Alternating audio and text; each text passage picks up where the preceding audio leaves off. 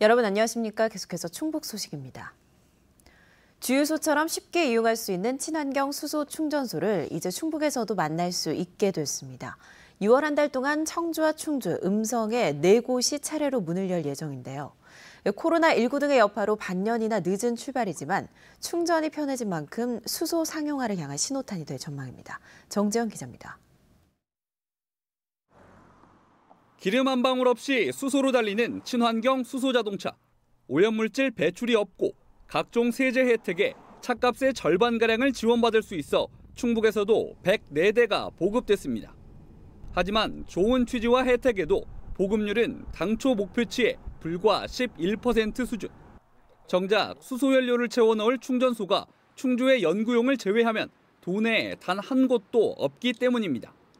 충전 한 번 하려면 청주에선 40km 이상 떨어진 대전 유성으로 충주 등 북부 지역은 연구용을 못 쓸 경우 차로 1시간 거리인 여주나 안성까지 가야 했습니다. 한 번 갈 때마다 또 대기가 굉장히 좀 많았어요. 차량 대기가 너무 많다 보니까 한 번 충전할 때 뭐 길게는 저희가 한 2시간 반까지도 기다려 본 적이 있거든요. 부담감 때문에 이제 운행에 있어서 좀 자유롭지 않다는 점이 좀 굉장히 좀 애로가 많았습니다. 기술적 문제에 코로나19 등이 겹치면서 충전소 구축이 반년이나 미뤄진 건데 6월부터는 달라집니다. 6월 첫째 주 청주 오창을 시작으로 둘째 주엔 내수에 월말까지 음성 생극과 충주 연수에 차례로 네 곳이 문을 엽니다. 충북 1호가 될 청주 오창은 시 운전까지 모두 마쳐 영업을 코앞에 두고 있습니다. 완충 소요 시간은 기름과 비슷한 3, 4분 정도.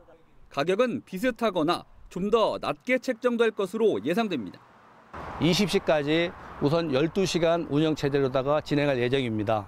영업 마진은 최소해가지고서 아직까지 활성화 안 됐기 때문에 어, 저희들이 최소 마진으로 진행을 하고 점차 활성화가 되면은 그때 따라가지 상황에 따라가지. 여기에 늦어도 내년 3월까지 제천과 괴산, 청주 속소동에 세 곳이 더 들어서고 충주에는 버스 충전소도 계획돼 있습니다. 수소 충전소가 많이 운영이 되고 있는데 아직까지 뭐 폭발이라든지 이런 사고가 발생된 사례가 전혀 없습니다. 전혀 그런 폭발 위험성이 없기 때문에 뭐 안전에 관한 것은 걱정하지 않으셔도 된다. 충청북도와 각 시군은 올해 안에 수소차 833대를 추가 보급해 지원금을 줄 계획. 다만 전국의 개소 예정인 곳들을 다 합해도 충전소는 여전히 부족한 만큼 활성화까진 남은 숙제가 많습니다. MBC 뉴스 정대영입니다.